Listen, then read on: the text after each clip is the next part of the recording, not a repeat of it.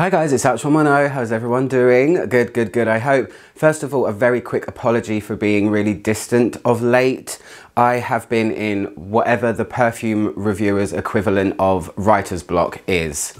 Just no mojo whatsoever. Anyway, I'm using this review, one of my favorite brands, to try and pull myself out of a funk, and we are in the full swing of autumn, so this is the perfect time to review it. We have many new fragrances from Zoologist, but today I'm talking about Chipmunk.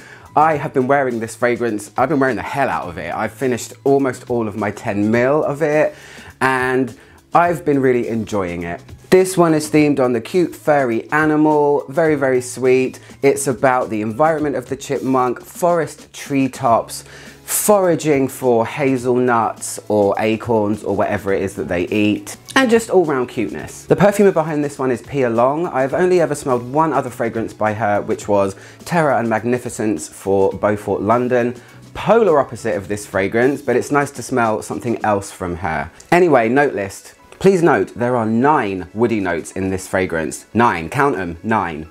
The top notes of Chipmunk are quince, pink pepper, red mandarin, cardamom and nutmeg. Nutmeg is actually a woody note, just so you know. The heart notes are chamomile, hazelnut, fir balsam, absolute, oak, absolute and earthy notes. And the base notes are cedarwood, amyris, patchouli, vetiver, benzoin, popanax, guaiac wood and animalic notes. Please note, Zoologists do not use real animalic notes in their perfumes. You won't be able to see it on camera, but I have pretty much used all of this. There's this much left out of my 10 mil. It is nearly gone. Um, so yeah, I've worn it quite a lot and I'm gonna tell you my experience of how it smells. I have been reading a lot of other reviews and even watching them just to see what other people exp are experiencing. As usual, mine is totally different from everyone, so here's my take. The opening of this fragrance is sparks of pink pepper. I wouldn't say it is an overly spicy fragrance, but there are definite twinges of a gentle spiciness that never really overtakes. What you are dealing with immediately is the environment of the chipmunk.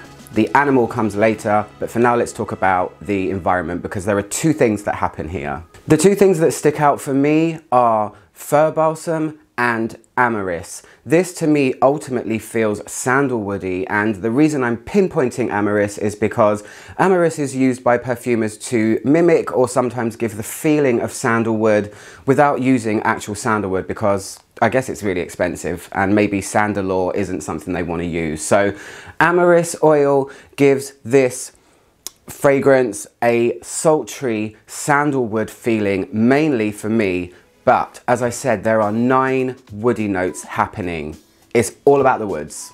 That's what I get quite prominently at the, at the, beginning. I also feel a lot of fir balsam. It made me think of musk deer when I smelled it. If you have tried musk deer by zoologist, if musk deer is the colder Siberian pine forest with some fir, then chipmunk is the autumnal, warmer, slightly browner, but still pine-like forest. That's what I get from it straight away. You are immediately taken to the environment of a chipmunk. I really need to talk about the nuttiness of this fragrance because everywhere I read and everything I watch, people are talking about a very pronounced nuttiness. I expected it to be very nutty. I thought that was gonna be the main theme. It's not for me personally. I rarely experience nuttiness when I wear this. I have once, and the one time that I experienced it was when I smelled this perfume on myself, I sprayed it, in an already perfumed environment, if that makes sense. When I wear this at home or I smell it outside, I don't get any nuttiness from it. And I kind of wish that it was more like that because it's a cool theme. But really, this is more about the slightly aromatic and evergreen feeling with a sultry sandalwood slash amyris at first. After about 20 minutes, this is where the magic happens for me. This is the other let's say, fork in the road for this perfume. So the environment part is first, then comes the animal. And as a reviewer, it's my job to try and pick things apart usually so I can try and explain what I'm experiencing for you guys. And with this one, I kind of don't wanna. Some things should be left and some things should be experienced for what they are. I'm not sure what Pia and uh, Victor conjured up for this, but what happens is the true magic of this perfume, which is a furry, soft, musky sweetness that smells cute. The animalic part of this perfume is very understated. It is an underlying thing that's barely there. It's barely a whisper, so if you are worried about it being an, a super animalic like Hyrax or anything like that, it, it isn't. It's not that at all. But there is this cuteness, this kind of, it smells like brown, soft, furry type smell that is bringing warmth to the perfume. It's softening this relatively aromatic and harsh woodiness that's in the opening.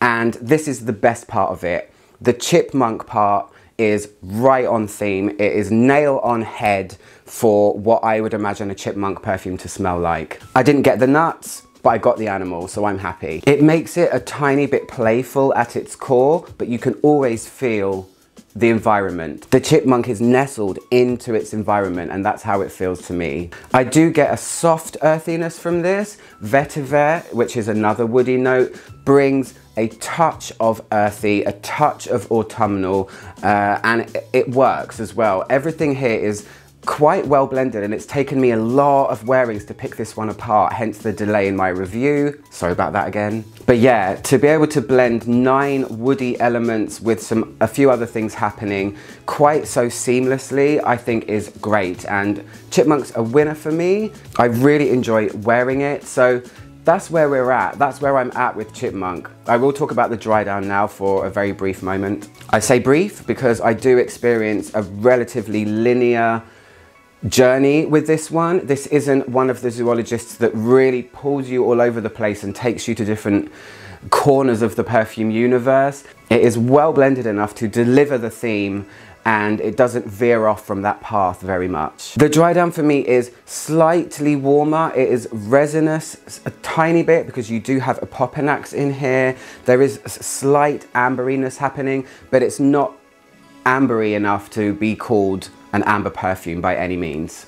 Always about the woods, always about the woods, guys. In terms of projection and strength, I would call this a medium one for zoologists. They do have every part of the scale in their collection. There are the super loud ones and then you have the really subdued quiet ones. This one sits in the middle for me. I don't think it's overly edgy or scary. It would be a really good gateway zoologist if you want to experience the brand but don't want to dive in with say a T-Rex. And it's just really enjoyable. It's really easy to wear. That chipmunk cuteness, that furriness which comes from I don't know where is the real tick checkbox for me with this. I, I wasn't expecting it to smell quite so piney, um, but I like that it's a furry brown softness, an amyris, a sandalwood, a slightly earthy, just it's the color brown. A really nice addition to the Zoologist line. I have other ones to try. But uh, for now, this is my review of Chipmunk. Longevity for me is about six or seven hours where I can really feel it, but it is a close to the skin one at the end. As always, try it on your own skin. It is the best way. Don't take my longevity to be the same as your longevity. Anyway, guys, I hope you like this video. I'm Ouch110, trying to make the world smell better, one video at a time. I'll see you guys soon. Goodbye.